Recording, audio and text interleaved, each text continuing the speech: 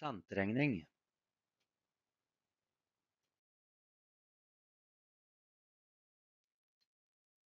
A delt på B er andelen av enheten. Om vi tar brøkkene 5 sjettedeler og 21 24-deler, hvilken av dem er størst? Det er ikke så enkelt å svare på, og derfor innfører vi prosent, som kan være et redskap for å hjelpe oss på å besvare eh, bl.a. det spørsmålet. Definisjon. Prosent. Andelen av A sammenlignet med B kan uttrykkes i prosent, dvs. Si av 100% A delt på B ganger 100. Det er det vi mener med prosent. La oss ta et par eksempel. 25% det er samme som 25 hundredeler. Som da vi kan eh, forkorte brøken, siden 100 er det samme som 4 ganger 25, og vi står igjen med en fjerdedel, som er samme som 0,25. Altså, folkens, 25% er det samme som 0,25. 0,25 er samme tingen matematisk som 25% 80. Eh, hva er 25% av 80? Jo, da tar vi 80 ganger 25. Men vi ble jo enige om noe ovenfor at 80 er det samme som en fjerde, At 25 er det samme som en fjerdedel. Og da er dette her en brøk. Og vi kan forkorte brøken. Og vi står igjen med 20. Så 25% av 80 er 20. Det er tolkninga av dette.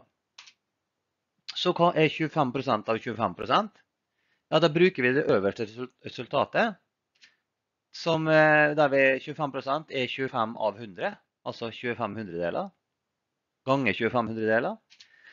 Og det er samme som en fjerdedel ganger en fjerdedel. Vi fant jo det i det øverste eksempelet, som er i en sekstendedel så på desimal, desimalform kan vi skrive 0,0625. Med andre ord, 25% av 25 er det samme som 0,0625. La oss ta et eksempel angående rente. Anta at du har kapitalen K lik 100 000 i banken, og du ser at vi innfører nå et symbol for kapitalen K, slik at vi kan senere nå regne på bokstaver og ikke tall. Så vi kaller altså K for 100 000 kroner, og renta på kapitalen, la oss si at den er 5 og da vet vi at det er samme som 5 av 100, og det er 0,05.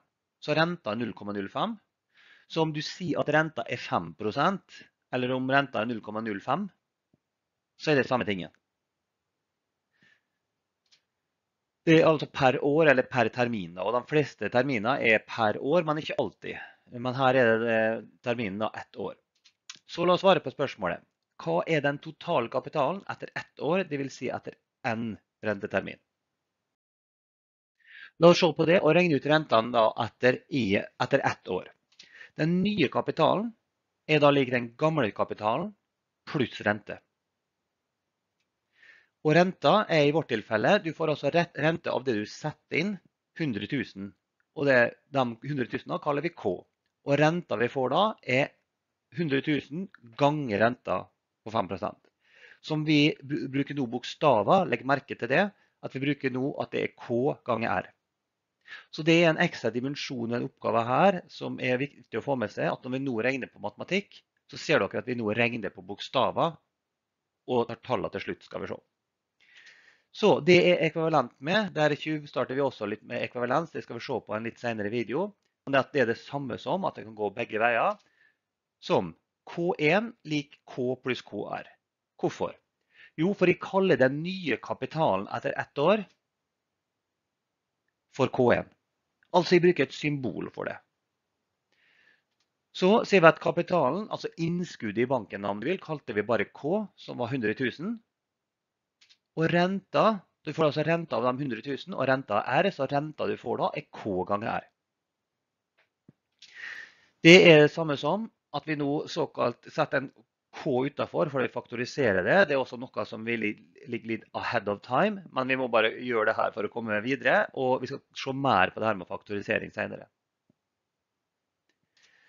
Og da har vi uttrykket for K1 For det var det vi eh, spurte om. Så oppgaven består i her å finne K1. Det var det det ble spurt om.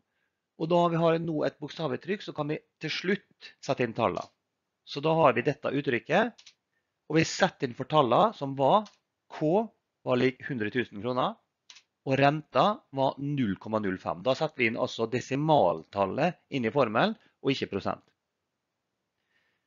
Det er det vi gjør her. Og så bruker vi kalkulator på det siste steget, og får altså 105 000. Med andre ord, det vi nå har regnet ut er følgende for å forstå hva vi regner på. Vi har satt inn 100 000 i banken som innskudd.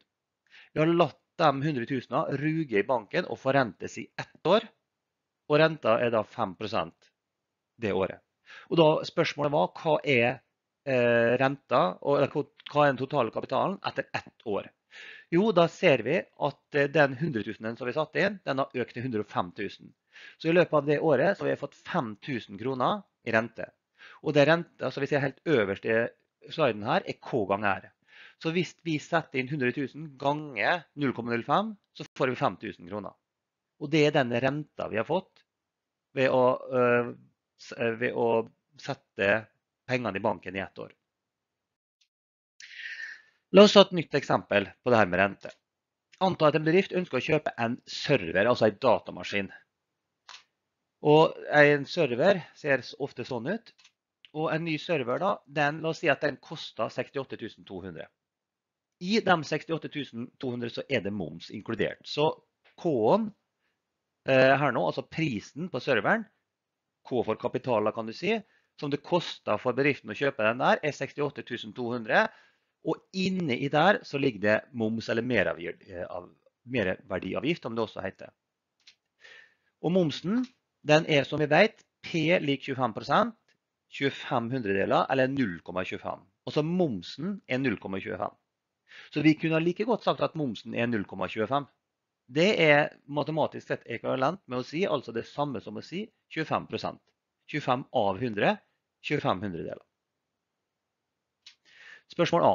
Hvor mye koster serveren uten moms? Når vi vet at den koster 68 200 med moms. Så før vi starter å regne på det her, så skjønner vi at, at det serveren koster uten moms, er iallfall noe mindre enn 68 200. Spørsmål B. Hvor mye betaler vi i merverdiavgift MVA? Det er spørsmål B. Greit, la oss se litt på det. La oss nå innføre en X som er prisen uten moms, og som vi argumenterte for i stad. Vi tror at den X-en er et eller annet mindre enn 68.200. Men vi kaller det den ukjente X-en. Og her igjen en dimensjon som vi er kanskje litt tidlig med, nemlig vi må innføre sjøl egne variabler. Og det er der det vanskelige ligger i matematikken, at vi må skjønne sjøl at eh, vi må innføre et symbol i valgte X for prisen på serveren uten moms. Og det er det oppgaven spør etter. Finn X om du vil. Det er det samme som å si at kapitalen, K, som var 68 200 hvis jeg ikke inn tallene, det er det samme som det ukjente prisen X, som er et eller annet mindre enn 68 200, pluss moms. Altså at 68 000 består av to ledd. Det består av prisen på serveren uten moms pluss momsen, og summen av de to blir 68 200. Så vi skal finne X. Da er greia at momsen er 25% av hva?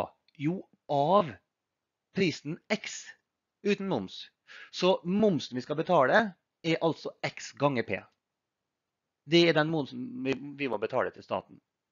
Det betyr at det uttrykket her kan matematisk sett skrives som K 68.200, man viser at ikke inn tallene enda, er lik prisen uten moms, x, pluss momsen som vi må betale, som er x ganger p.